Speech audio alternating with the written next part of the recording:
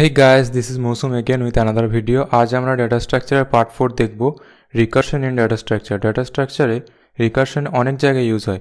যেসব problem recursive টাইপের হয় তাদের রিকারশন ইউজ করে আমরা সলভ করি। রিকারশনের কনসেপ্ট অলরেডি সবাই সি ল্যাঙ্গুয়েজে পড়েছো। আই হোপ সবাই রিকারশন টার্মটির সঙ্গে ফেমিলিয়ার তোমাদের মধ্যে অনেকেই হয়তো রিকারশনের একটু টাফ লাগে বাট লজিক্যাল ইমপ্লিমেন্টেশনের ক্ষেত্রে রিকারশনই সব থেকে সিম্পল তো চলো দেখা যাক রিকারশন কি। একটু রিভাইজ করা যাক। কোনো ফাংশন যখন সেই ফাংশন অর্থাৎ নিজেকেই কল করে, তখন তাকে আমরা রিকার্শন বলি।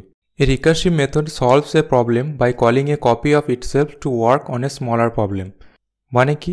মানে তুমি যদি ধরো, তুমি সাম অফ ফার্স্ট টেন নাম্বারসের অ্যাডিশন করতে হবে, তাহলে তোমার কাছে কী কী টেকনিক আছে এই প্রবলেমটা সলভ করার জন্য? ফার্স্টে তুমি one two three four five up to ten এভাবে তুমি প্রবলেমটা সলভ করতে পারো। সেকেন্ডলি তুমি স্মার্টলি এই প্রবলেমের সলিউশন তুমি রিকার্শনের মাধ্যমে করতে পারো। তোমাকে কি করতে হবে? তোমাকে সাম অফ টেন ন্যাচারাল নাম্বারসের সাম বের করতে হবে, তাই তো?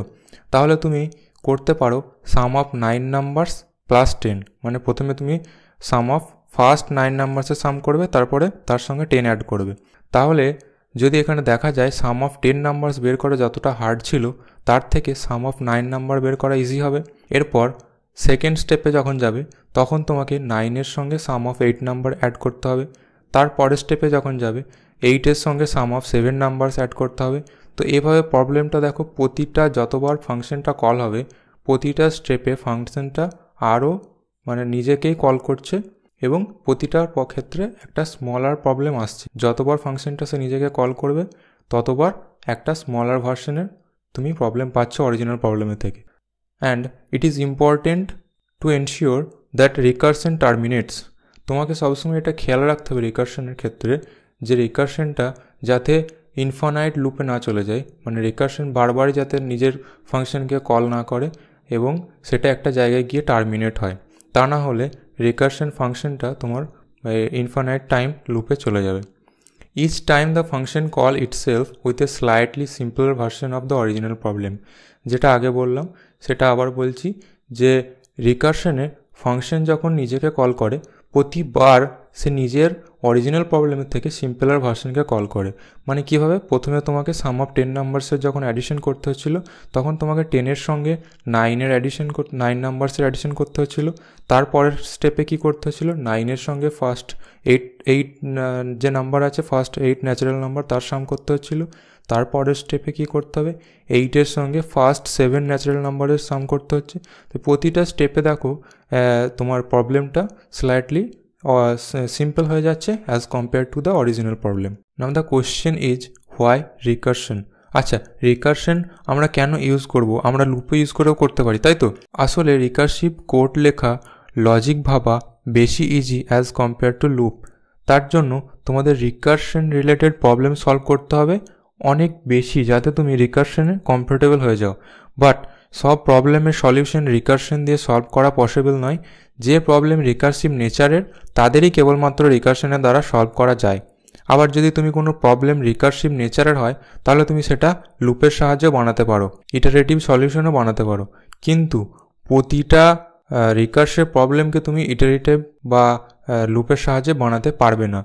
এবার আসি recursion conditioner recursion condition it terminates when a base case is reached base case কি? বেস কেস এখানে, ধরো তুমি সাম অফ টেন নাম্বার যেটা বের করছিলে, সেখানে যখন sum of two number plus one যখন আসবে, তখন তোমার, ওটা হচ্ছে তোমার বেস কেস ওর পর তোমার আর ফাংশন চলবে না, তোমাকে ওই বেস কেসটার খেয়াল রাখতে হবে যাতে তোমার প্রোগ্রামটা টার্মিনেট হয়। না হলে রিকারশন বারবার তোমার ফাংশন কল করতে থাকবে এবং তোমার infinite number of times function call হবে।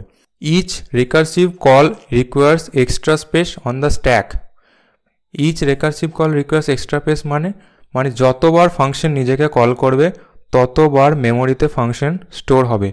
একই ফাংশন তোমার বারবার মেমোরিতে স্টোর হবে যতক্ষণ সেটা পেন্ডিং থাকবে। সেটাও আমি পরবর্তী ক্ষেত্রে এক্সাম্পলের মাধ্যমে তোমাকে দেখে, দেখিয়ে দেবো। এই রিকারশনের সব থেকে মেন যে পার্ট হচ্ছে, তোমার মেমোরি কনসেপ্ট তোমাকে ভালোভাবে ক্লিয়ার করতে হবে। মেমোরি কনসেপ্ট যদি ক্লিয়ার থাকে ভালোভাবে, তাহলে রিকারশন খুবই simple solution to some problems are easier to formulate recursively ওই আগেই যেটা বলেছিলাম, কিছু প্রবলেম আছে যেগুলি রিকার্সিভ নেচারের হয়, সেগুলো রিকার্সিভের মাধ্যমে করা খুব ইজি হয়ে যায় as compare to loop or iterative solution অনেক তো থিওরি হলো, এবার চলো দেখা যাক কিছু এক্সাম্পলের মাধ্যমে কীভাবে আমরা রিকার্শন করি, ঠিক আছে? তো এখানে তোমরা দেখতে পাচ্ছ রিকার্শন ভিজুয়ালাইজেশন এখানে আমি তোমাদেরকে মেমোরি কনসেপ্ট দিয়ে ভালোভাবে বুঝিয়ে দেবো যে কীভাবে রিকার্শন কাজ করে, কীভাবে প্রতিটা ফাংশন র্যামে আসে মেমোরিতে আসে, কীভাবে স্টোর হয় এবং কীভাবে এক্সিকিউশন হয়। পুরো প্রসেস আমি তোমাদেরকে এখানে বুঝিয়ে দেবো। এখানে তোমরা দেখতে পাচ্ছ একটি একটা কোড আমি লিখে রেখেছি। সি ল্যাঙ্গুয়েজ তোমরা সবাই জানো। সি ল্যাঙ্গুয়েজে একটা প্রোগ্রাম তোমাদের এখানে লেখা আছে। আমি পুরো প্রোগ্রামটা আমি এখানে ফাংশন ডিক্লারেশন করিনি, যেটা আমার করা দরকার ছিল। কিন্তু আমি অ্যাজ এ সিম্পল দেখানোর জন্য তোমাদেরকে জাস্ট এই প্রোগ্রামটা আমি নিয়েছি, ঠিক আছে? প্রথমে তোমরা দেখতে পাচ্ছ মেন ফাংশনের মধ্যে আমার একটা ভেরিয়েবল আছে এ এবং এ ভেরিয়েবলের মধ্যে আমরা একটা, দেখো ম্যাজিক ফাংশন সেকেন্ড যে লাইন আছে, সেখানটা তোমরা দেখতে পাচ্ছ, আমরা একটা ম্যাজিক ফাংশন কল করেছি ওখানে। তোমরা হয়তো অনেকেই জানো যে যখন মেন ফাংশন চলে প্রথম প্রথম র্যামে মেমোরি মেন ফাংশনের জন্যই আসে। তাই তোমরা এখানে দেখতে পাচ্ছ ফার্স্ট অফ অল র্যামে তোমাদের মেন ফাংশন এসছে। মেন ফাংশনের মধ্যে জাস্ট ইন্ট এ যেটা আছে, আমরা যেটা ডিক্লারেশন করেছি ডিক্লারেশন যেহেতু একটা স্টেটমেন্ট তাই এখানে ওটা র্যামে আসবে না। আমাদের যেখানে ইনস্ট্রাকশন আছে, অর্থাৎ a equals to magic three যেটা আমরা করেছি অ্যান্ড প্রিন্ট এফ যেটা আছে, সেটা আমাদের ইনস্ট্রাকশন হিসেবে আমাদের র্যামে আলাদা জায়গায় আসবে এবং যে ভেরিয়েবলটা আমরা ইনিশিয়ালাইজ করেছি এ ভেরিয়েবলটা সেটা মেন ফাংশনে চলে আসবে। ঠিক আছে? ফার্স্ট অফ অল তো হচ্ছে মেন ফাংশন তোমার এখানে কল হলো। এবার প্রথম লাইনটা হচ্ছে কি ইন্টিজার এ আমি প্রথমে ডিক্লেয়ার করেছি একটা ইন্টিজার তারপরে আমি a equals to magic three ঠিক আছে? ওখানে থ্রি রিটার্ন করছি ম্যাজিক ফাংশন যে আছে, সেই ফাংশনে তাহলে এখানে ম্যাজিক ফাংশন তো আমার নিচে আছে। তাহলে ওই ম্যাজিক ফাংশনটা ওখান থেকে আমার লাইনটা কোথায় চলে আসবে? ওখান থেকে লাইনটা আমার চলে আসবে এই ম্যাজিক ফাংশনে ঠিক আছে? প্রিন্টেপ কিন্তু এখন চলবে না। কারণ আমার ম্যাজিক ফাংশনটা কল হয়েছে এবং সেই ম্যাজিক ফাংশনটা আমার আছে নিচেতে। তো ম্যাজিক ফাংশন এক্সিকিউশন স্টার্ট হলো। স্টার্ট হওয়ার পর এবার ম্যাজিক ফাংশন যেটা আছে, তার জন্য র্যামে মেমোরি লাগবে। তার জন্য র্যামে ম্যাজিক ফাংশন চলে আসবে এবং ম্যাজিক ফাংশনের মধ্যে আমরা কি দেখতে পাচ্ছি? ম্যাজিক ফাংশনের মধ্যে আমাদের দুটো ভেরিয়েবল আছে, একটা হচ্ছে কে এবং একটা হচ্ছে এস এবং যে আমার ইনস্ট্রাকশনগুলো আছে সেগুলো দেখছ রাইট হ্যান্ড সাইডে ইনস্ট্রাকশনগুলো এবং লেফট হ্যান্ড সাইডে আমি জাস্ট ভেরিয়েবলগুলো রেখেছি, ঠিক আছে? বোঝানোর জন্য। তো ইনস্ট্রাকশনের জন্য আলাদা মেমোরি কম্পার্টমেন্টে ওদিকে আছে আর এরা ভেরিয়েবলরা আলাদা লেফট হ্যান্ড সাইডে ওকে তো এবার কি হবে? ফার্স্ট অফ অল তোমার এতে তুমি ম্যাজিকে কি পাস করেছিলে? থ্রি থ্রিটা কোথায় আসবে? থ্রিটা আসবে তোমার ম্যাজিকের যে কে আছে, তাহলে ওখানে রিটার্ন হবে। সো মেন ফাংশন থেকে ম্যাজিকে যে থ্রিটা রিটার্ন হয়েছিল, সেটা কোথায়? কেতে স্টোর হবে। কে ভেরিয়েবলে স্টোর হওয়ার পর, তারপরে ম্যাজিক ফাংশনের বডিস তোমার এক্সিকিউশন স্টার্ট হবে। এক্সিকিউশন স্টার্ট হওয়ার সময় কি আছে এখানে? ফার্স্ট লাইন তোমার আছে if k equals to one তাহলে এখানে কেটাকে চেক করাবে। ওয়ানের সমান কিনা। এখানে কে ওয়ানের সমান নয়, যেহেতু কে ইকুয়ালস টু থ্রি তাই রিটার্ন কে যে ইনস্ট্রাকশনটা আছে সেটা চলবে না। পরের লাইনে চলে আসবে। পরের লাইনে কি আছে? X equals to k plus magic k minus one এখানে আবার ম্যাজিক ফাংশন কল হলো। যেহেতু ম্যাজিক ফাংশন কল হয়েছে, তাই আবার র্যামের মধ্যে ম্যাজিক ফাংশন একটা কপি চলে আসবে। পুরনো ম্যাজিক ফাংশন যেমন ছিল, তেমনই থাকবে। পেন্ডিং স্টেটমেন্টে যেহেতু ওটার কাজ এখনও পেন্ডিং আছে দ্বিতীয়বার কল হয়েছে রিকার্শনে ম্যাজিক ফাংশন ম্যাজিক ফাংশন আবার র্যামে এলো। ম্যাজিক ফাংশন র্যামে এলো, এবার তোমার ফার্স্টে যে পেন্ডিং ম্যাজিক ম্যাজিক ফাংশনটা ছিল, সেখানে কত আছে? কে এর মধ্যে থ্রি আছে, তাই তো? থ্রি আছে। এবার দ্বিতীয়বার যখন এটা এলো, তখন এখানে কে এর মধ্যে তোমার থ্রি মাইনাস ওয়ান তাহলে কত হবে? টু হবে। তাহলে কে এর ভ্যালু এখানে চলে এলো টু কে এর ভ্যালু কিন্তু এক জায়গায় প্রথম ফাংশনে যেটা কল হয়েছিল, সেখানে থ্রি আছে। দ্বিতীয় ফাংশন যখন কল হলো, তখন সেটা হলো টু এখানে কোনো রকম কনফিউশন রাখলে চলবে না। ঠিক আছে? এবার রিটার্ন এস আছে, এখানে কিছু রিটার্ন হবে না।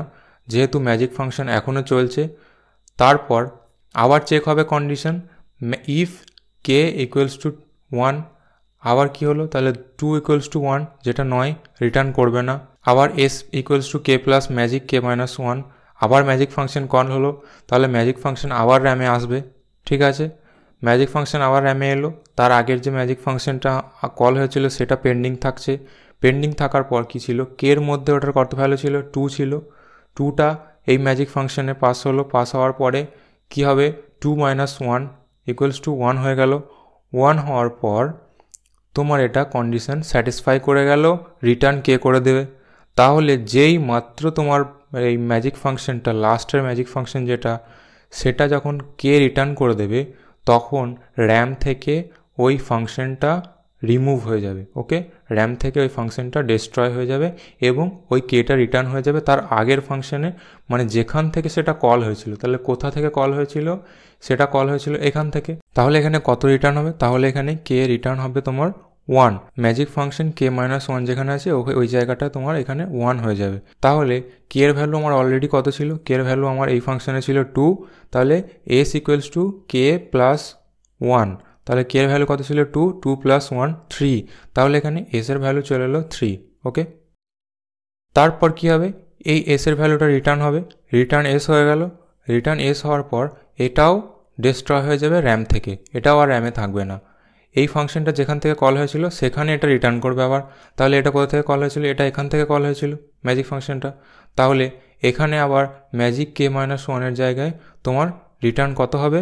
তোমার রিটার্ন হবে থ্রি থ্রি রিটার্ন হলো। আর এখানে কত ছিল? থ্রি ছিল, যেটা s equals to three plus three মানে সিক্স তাহলে রিটার্ন এস করবে আবার এস আবার সিক্স রিটার্ন করবে। রিটার্ন কোথায় করবে? যেখান থেকে ফাংশনটা কল হয়েছিল, তাহলে ফাংশনটা কোথায় কল হয়েছিল? ফাংশনটা কল হয়েছিল মেন ফাংশনে যেখানে a equals to magic three আছে। তাহলে ম্যাজিক থ্রির জায়গায় কী হবে? সিক্স এর মধ্যে ভ্যালু চলে এলো সিক্স এবং প্রিন্ট করে দেবে। এর ভ্যালু অর্থাৎ সিক্স তোমরা এক মিনিট ভিডিওটি পজ করো এবং ভাবো যে এটা কোন প্রবলেমের সলিউশন আমি এখানে রিকার্শনের সাহায্যে করেছি। তারপর আমি অ্যান্সারটা বলছি।